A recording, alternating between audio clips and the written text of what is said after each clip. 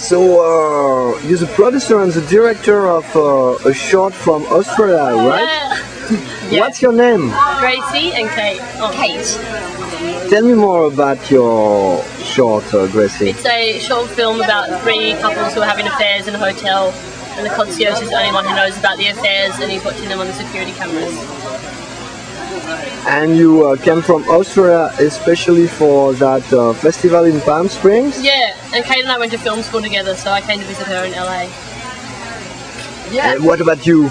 Yeah, so it's my first time at the festival and it's amazing standard.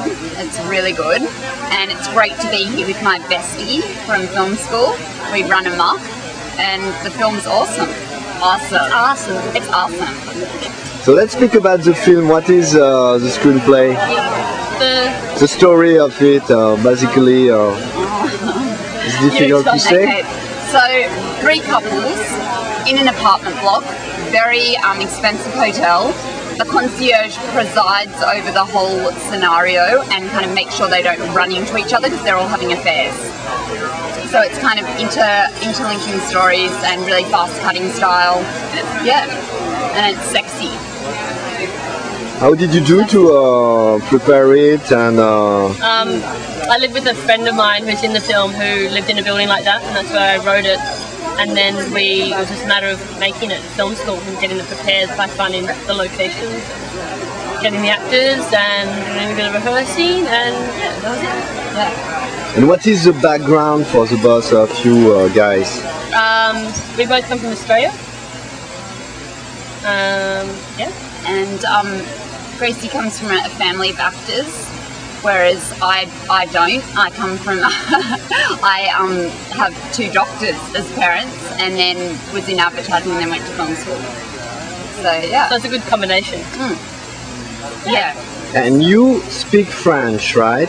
Oui, je parle français un peu. You were in Paris for a while? Oui, j'étais là pour euh, euh, six mois l'année dernière, mais maintenant il est- ça fait longtemps depuis que je parle en français. Je vais parler en anglais. And what is your target now? What is your goal for this short?